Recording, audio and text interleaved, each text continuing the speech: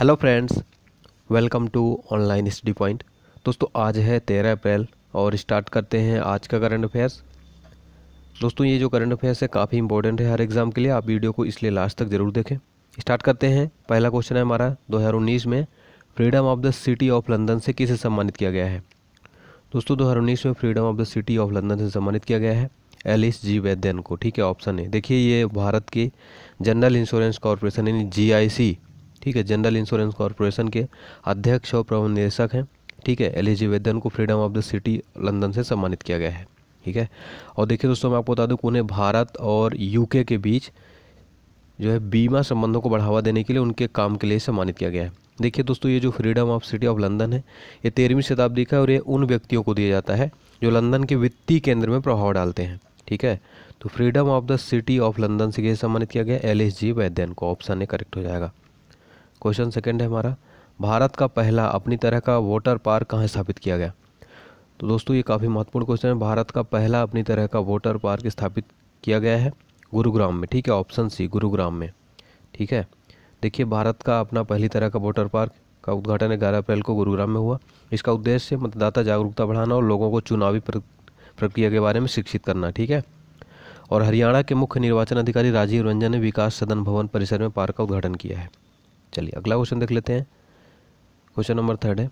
जामिया मिलिया इस्लामिया की पहली महिला कुलपति के रूप में कैसे नियुक्त किया गया है? तो जामिया मिलिया इस्लामिया की पहली महिला कुलपति के रूप में नियुक्त किया गया है नज़मा अख्तर को ऑप्शन डी देखिए प्रोफेसर नज़मा अख्तर को जामिया मिलिया इस्लामिया की पहली महिला कुलपति नियुक्त किया गया और अन्य व्यक्ति जिन्हें सरकार ने पद के लिए शॉर्टलिस्ट किया, उनमें आईआईटी दिल्ली के एम एस इश्तियाक और फुरकान कमर थे। जो वर्तमान में यूनिवर्सिटी ऑफ़ एसोसिएशन के महासचिव भी हैं। ठीक है? देखिए, मणिपुर की राज्यपाल नजमा हेपतुल्ला यूनिवर्सिटी की चांसलर हैं। ठीक है? जामिया मिलिया इस्लामिया यूनिवर्सिटी की चांसलर कौन है? नजमा हेपतुल्ला मणिपुर की राज्यपाल।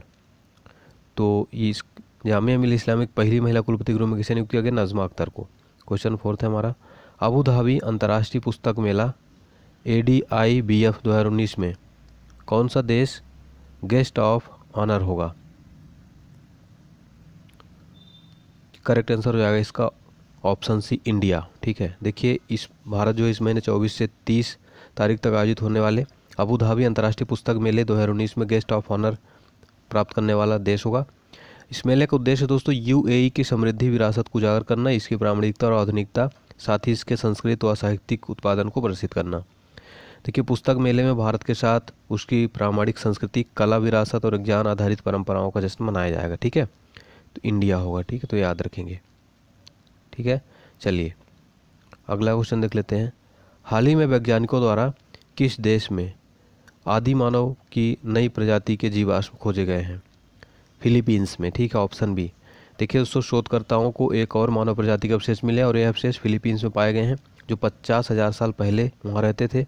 और अवशेष लुजान आइलैंड में मिले हैं, इसलिए इस प्रजाति का नाम होमो लुजानेसिस रखा गया है। ठीक है? चलिए। अगला क्वेश्चन देख लेते हैं। नमामि गंगा कार्यक्रम को किस स्थान पर आयोजित किए गए? विश्व जल शिखर सम्मेलन में पुरस्कार प्रदान किया गया। लंदन में। ऑप्शन डी करेक्ट हो जाएगा। देखिए दोस्तों स्वच्छ गंगा राष्ट्रीय मिशन अथवा नमामि गंगे कार्यक्रम को लंदन में विश्व जल शिखर सम्मेलन में ग्लोबल वाटर इंटेलिजेंस द्वारा public water agency of the year का खिताब प्रदान किया और यह पुरस्कार जल संरक्षण तथा जल की स्थिति में सुधार लाने वाली पहल के लिए प्रदान किया जाता है, जिसमें लोगों के जीवन में सुधार आए। क्वेश्चन सेवन है हमारा। हाल ही में किस कंपनी द्वारा निजी फंड से लॉन्च किया गया पहला चंद्र मिशन असफल हो गया है? Space X option C. देखिए दोस्तों स्पेस एक्स द्वारा फरवरी में लॉन्च किया गया इसराइल का पहला चंद्र मिशन चाँद की सतह पर उतरने के दौरान क्रैश हो गया और इसके साथ पहली बार निजी फंड से लॉन्च किया गया दुनिया का पहला सफल चंद्र मिशन बनाने में नाकाम रहा। और अब तक सिर्फ़ अमेरिका, रूस और चीन ही चाँद पर सफलतापूर्वक यान भेज पाए हैं, ठीक है? क्वेश्चन नंबर एट है निम्नलिखित में से किसे जामिया मिलिया इस्लामिया विश्वविद्यालय की पहली महिला कुलपति के रूप में नियुक्त किया गया है? तो अपन ऊपर देख लिया इस क्वेश्चन को तो ऑप्शन है correct Najma Akhtar. Question number ninth है। विश्व भर में किस दिन अंतर्राष्ट्रीय मानव अंतरिक्ष उड़ान दिवस मनाया जाता है? अंतर्राष्ट्रीय मानव अंतरिक्ष उड़ान दिवस मनाया जाता है बारह अप्रैल को ऑप्शन सी ठीक है? बारह अप्रैल को। क्वेश्चन टेंथ है। भारत की पैरा एथलीट दीपा मलिक को किस देश की सरकार द्वारा दी जाने वाली सर एडमंड हिलेरी फेलोशिप के लिए चुना गया है। New Zealand government. देखिए, भारत की पैरा एथलीट दीपा मलिक को न्यूजीलैंड सरकार द्वारा दी जाने वाली सर एडमंड हिलेरी फेलोशिप के लिए चुना गया है, ठीक है? क्वेश्चन नंबर इलेवेंथ है। भारत और किस देश के बीच बारहवा संयुक्त सैन्य अभ्यास बोल्ड कुरुक्षेत्र दो उन्नीस ग्यारह अप्रैल को संपन्न हुआ है? तो ये हुआ है सिंगापुर के बीच, ठीक है? देखिए, भारत और सिंगापुर के बीच दोस्तों बारहवा संयुक्त सैन्य अभ्यास बोल्ड कुरुक्षेत्र ग्यारह अप्रैल को संपन्न हुआ। समापन समारोह बबीना मिलिट्री स्टेशन में आयोजित किया गया और चार दिवसीय सैन्य अभ्यास यांत्रिक युद्ध में परस्पर और संयुक्त रणनीतिक जो है युद्ध अभ्यास को विकसित करने पर केंद्रित था ये।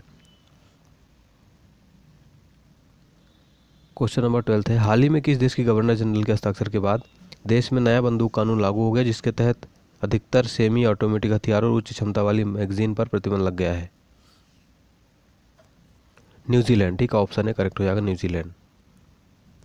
क्वेश्चन थर्टीन है इलाहाबाद हाई कोर्ट के वरिष्ठ न्यायाधीश न्यायमूर्ति विक्रम नाथ को किस राज्य के उच्च न्यायालय के पहले मुख्य न्यायाधीश के रूप में नियुक्त किया गया है? आंध्र प्रदेश, ठीक है, ऑप्शन डी। देखो दोस्तों, इलाहाबाद उच्च न्यायालय के वरिष्ठ न्यायाधीश न्यायमूर्ति विक्रम नाथ को 10 अप्रैल दो हज़ार उन्नीस को आंध्र प्रदेश उच्च न्यायालय के पहले मुख्य न्यायाधीश के रूप में नियुक्त किया गया है। क्वेश्चन फोर्टीन है, यूनिसेफ के अनुसार किस देश के चौंसठ में से 20 जिलों के लगभग 19 मिलियन से अधिक बच्चे जलवायु परिवर्तन के विनाशकारी परिणामों के कारण सबसे अधिक खतरे में है। बांग्लादेश, ठीक है ऑप्शन ए करेक्ट हो जाएगा, बांग्लादेश। अब देख लेते हैं लास्ट वीडियो का आंसर क्वेश्चन पूछा था, कौन इंडियन ओवरसीज बैंक के एमडी और सीईओ बनेंगे? करेक्ट आंसर था ऑप्शन सी करणम शेखर ठीक है करणम शेखर सभी स्टूडेंट ने राइट आंसर दिया था और काफ़ी डिटेल में लिखा था।